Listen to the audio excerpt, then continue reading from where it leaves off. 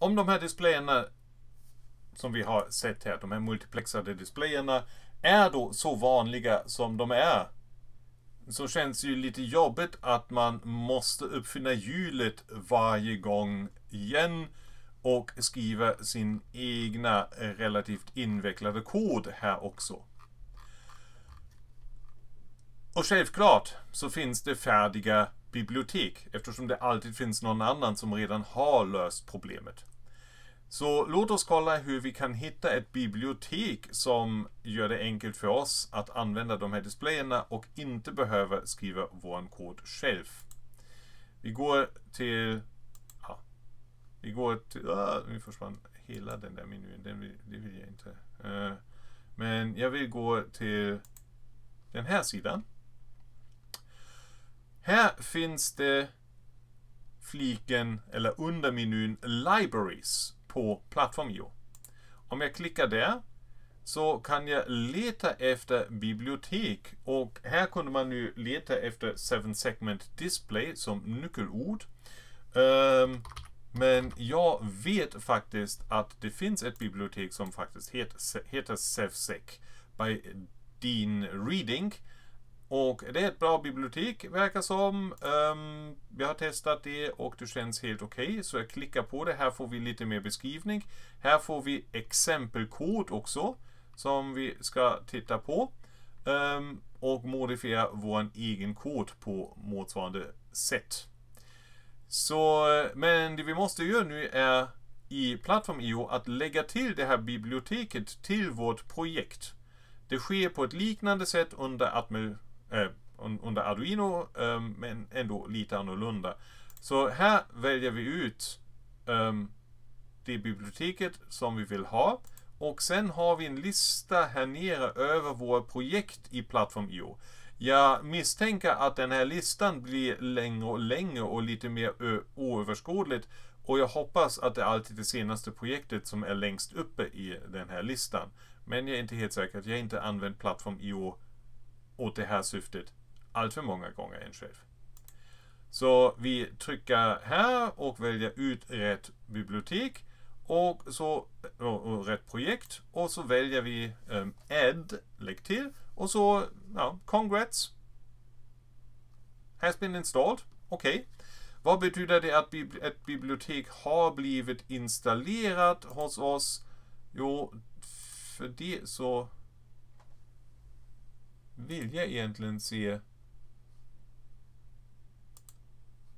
på rätt meny. Project Tasks. Default. Nej. Project Task, Quick Access. Hmm. Mina filer är borta. Men det har i alla fall har lagts till um, ett bibliotek nu. De här biblioteksfilerna.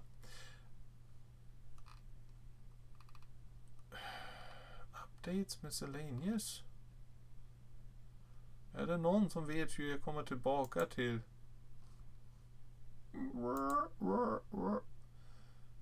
View. Parents, editor layout.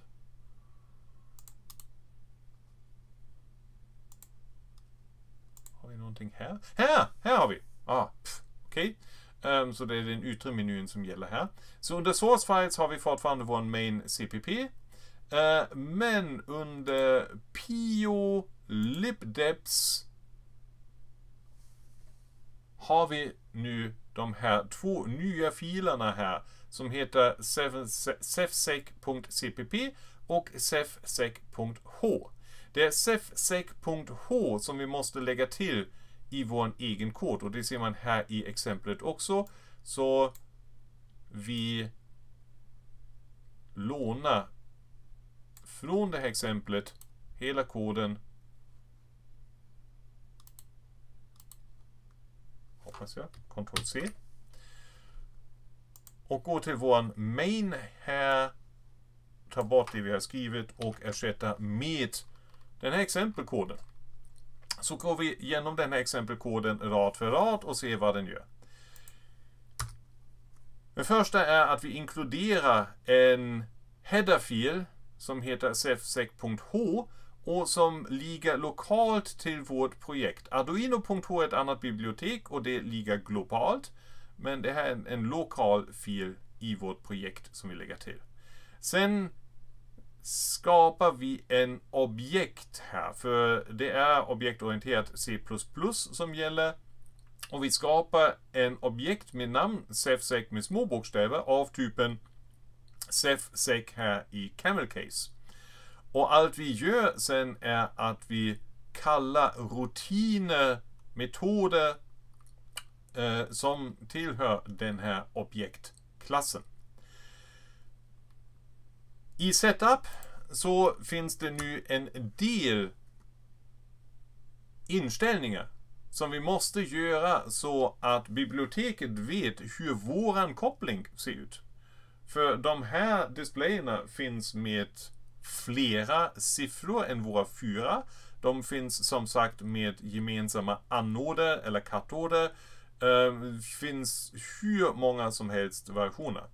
Eftersom biblioteket är skrivet i ren Arduino-kod så gäller det faktiskt att sätta in pin-numren som gäller på Arduino-sidan för våra digit pins, alltså våra siffror, och våra segmentpins, alltså de individuella strecken för varje siffra.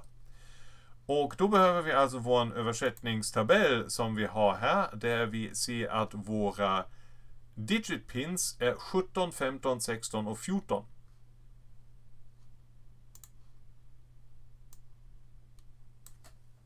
Sjutton, 15, 16 och 14 lite mellanslag efter komman. Så, nu kommer vi till våra segmentpinnar.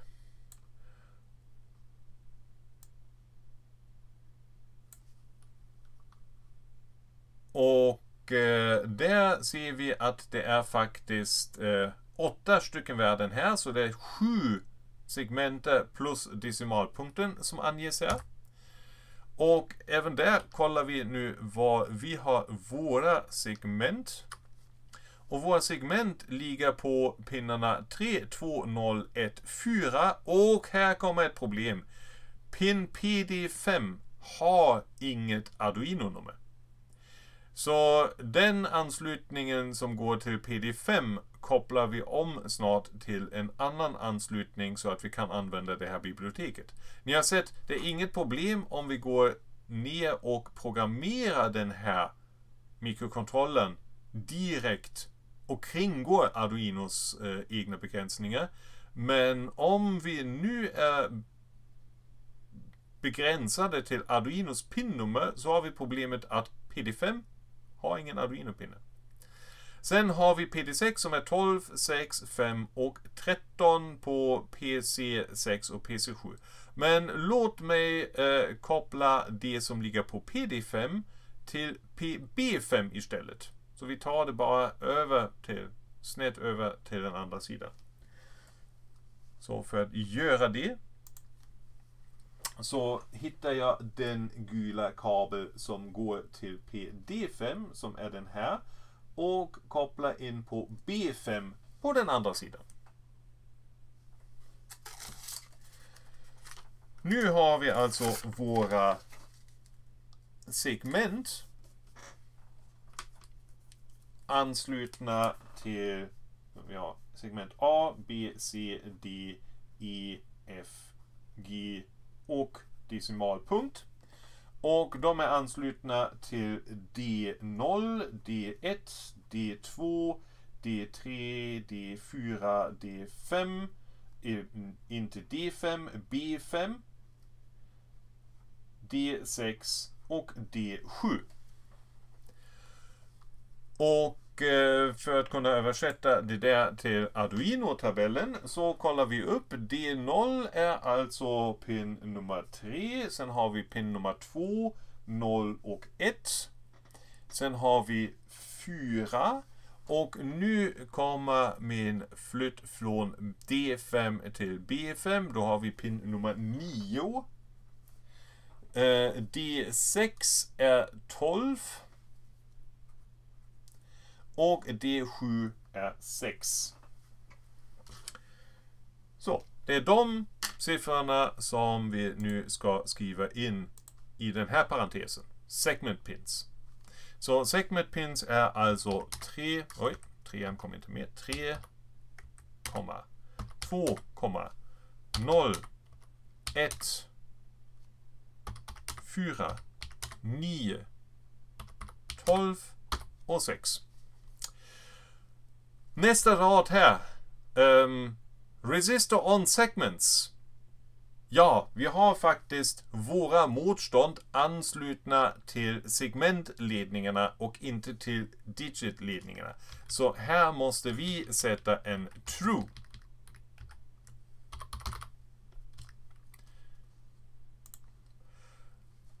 Common anode gäller för våra också. Um, update with delays, uh, false is recommended, så vi tar det som är um, recommended. Vi vill inte ha ledande nollor och uh, vi bryr oss kanske, jag vet inte, disable decimal point false. Okej, okay, vi låter den sitta där.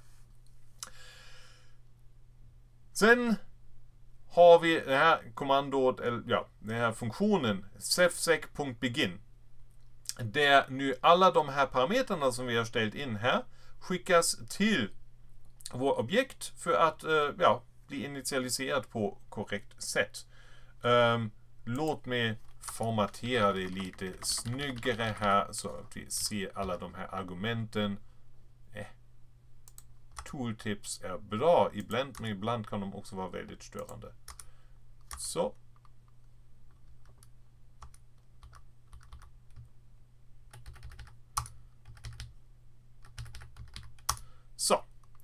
Um, set brightness uh, sätter vi till 90. Um, om vi ställer oss på så får vi faktiskt lite hjälp här. Sets LED on time according to the brightness give, give, give, given. Standard brightness range is 0 to 100. Flickering is more likely at brightness is above 100 and below minus 100. A positive brightness introduces a delay while the LEDs are on and a negative brightness introduces a delay while the LEDs are off. Vi stannar med de här 90 som står där och kanske kollar vad som händer sen. Eh, även här flyttar jag eh, den eh, hit. Här ser vi att vi har en variabel som läser in värdet av funktionen millis som ger oss antalet millisekunder sedan vår kod började köras. Det har vi faktiskt haft tidigare och pratat om i förra laborationen redan. Sen har vi static int deciseconds eh, som initialiseras här till 0. Det är en lokal variabel i vår rutin. Och sen händer det uppenbarligen saker här i koden. Eh, vi kompilerar koden och ser vad som händer på vår display då om koden laddas upp. Och vi ser att den räknar upp 7, 8, 9, 10, 11, 12, 13. Så den räknar upp i sekundtakt och efter kommat här har vi faktiskt tiondelar därav eh, det där med decisek, det är alltså tiondels sekunder som den räknar upp. Men hur gör den det? Och, och, och, hur vet den att den ska sätta ett komma dit? Om vi tittar i koden Eh, det, det som skriver ut någonting på displayen är den här raden. sefsec.setNumber. DC seconds i variabeln som ska skrivas ut på displayen och komma 1 här anger komma-positionen. Um, så om jag sätter en 2 dit så borde den skriva ut tal med två decimaler istället. Låt oss se. Jo, nu ser vi att kommatecknet har flyttats till mitten av displayen. Eh, men den skriver fortfarande ut i samma hastighet. Så den tar värdet, värdesiffrorna som står i DC seconds och skriver ut dem på displayen och sen sätter den ett motsvarande kommatecken. Vi kan se det om vi faktiskt skriver ut värdet i DC seconds även här nere till vår terminal. Till det så ska jag sätta i init, äh, initialisering i setup-delen så öppnar jag en serial port, serial begin. Det spelar ingen roll vad vi skriver i parentesen för vårt Arduino-system här. Um, skriver 9600 som är standardvärde. Och uh, här vill jag skriva serial.println DC seconds. Så värdet av själva variabeln ska skrivas och skickas sedan på USB-kabeln från AT-megan, från Arduinon tillbaka till datorn. Så låt oss se hur det ser ut. Vi kompilerar koden.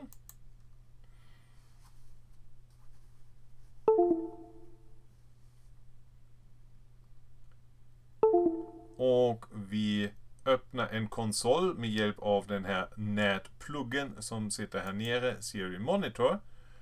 Och här ser vi hur det trillar ut siffror här nere. Och nu är vi kring 150 och på displayen står det 1,8, 1,9, nu är vi 200, 2.11 så den skriver ut ett heltal och vi kan placera kommatecknet där vi vill ha kommat i verkligheten.